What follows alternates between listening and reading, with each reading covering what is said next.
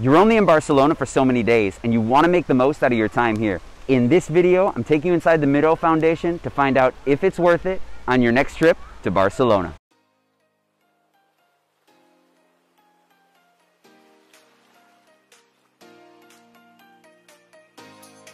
What's up guys? Patrick here, tour guide and your guide to Barcelona. One of the questions I most often get by tourists in the city is, is it worth it? My channel is all about answering that question so you can see for yourselves and be better prepared for your next trip to Barcelona. So hit subscribe to see other ideas and other videos on things you can do here in this amazing city and make sure you hit that like button so others can know as well.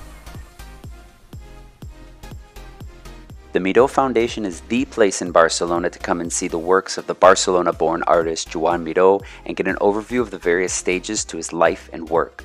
Those who want to see one of the 20th century's most famous artists need to come here. You'll find over 200 paintings, almost as many sculptures, and various other works by Miró, as well as varying exhibits of contemporary art.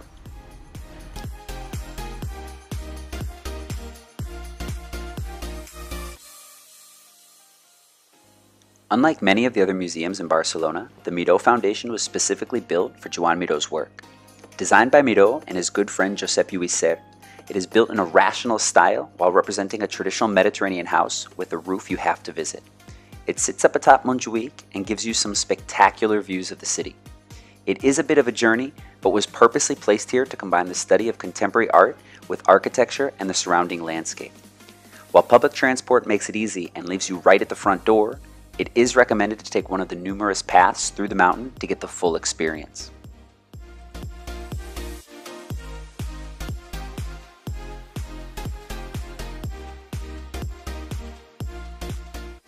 Once you're there, admission is 13 euros, but if you live here, it might be more worth it to pay the extra euro for the annual pass. Art lovers will be glad to know that the Miró Foundation is another one of the six museums offered as part of the Articket, a 35 euro passport for incredible savings on the city's best art.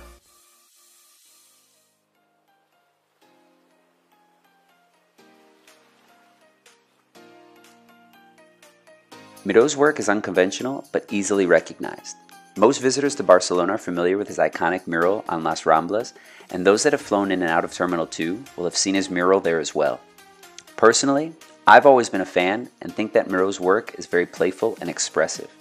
It is, however, difficult to describe or even classify, sometimes leaving you only saying, oh, that's a Miró.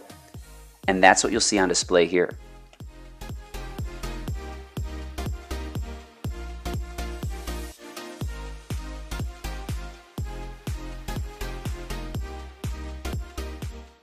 His early work has many landscapes from the Catalan countryside, and in fact, one of his most famous paintings, The Farm, was purchased by Ernest Hemingway. He later dabbled in various styles like surrealism, although he rejected that title. Overall, Miró didn't want to be defined by the conventional ideas, something you might notice as the styles change as you move around the museum, and definitely something you'll see in his anti-painting, which I think really shocks you as a visitor. As part of his assassination on painting, you will see destroyed canvases that might spark some interesting conversations.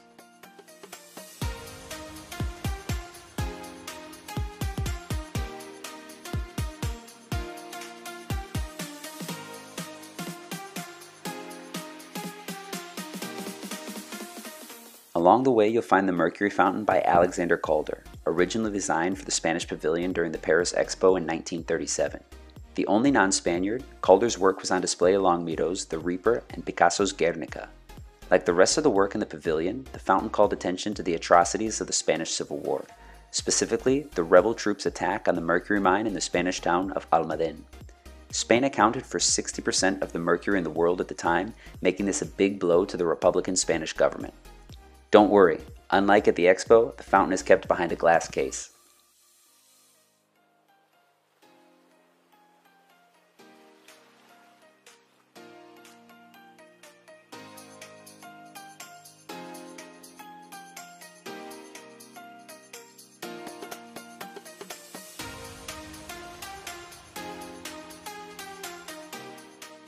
After you venture around the museum for a little bit, you get up to the roof terrace, which doesn't have a lot up here, a few different sculptures by Miro, but what you do get are some awesome views out to the Collserola and Tibidabo mountains and just into the city in general.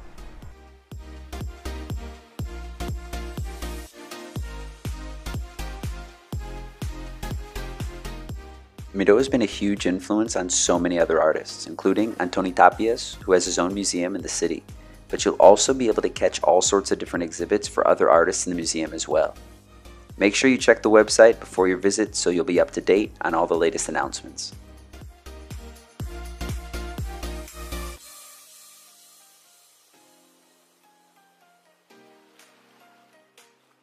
We're now in the gardens on the outside of the Miró Foundation, and now that you've seen the inside, let me know what you think. Leave a comment below and let me know if you're gonna be stopping by on your next trip over to Barcelona. And if you've already been, let everybody else know what you thought of your experience. As one of Barcelona's most known artists, it's a really great experience. It's a really great chance to see all of his work, get incredible views of the city. And if you're over in Montjuic planning on spending some time here, it's something that I always recommend that you do. Remember that for only 35 euros, it's one of the six museums that's included in that Articket. I'll leave a link in the description below. Check out some other videos. Hit subscribe if you haven't done so already so that you can find out more on what you can do in Barcelona. Thank you for watching, and I'll see you next time.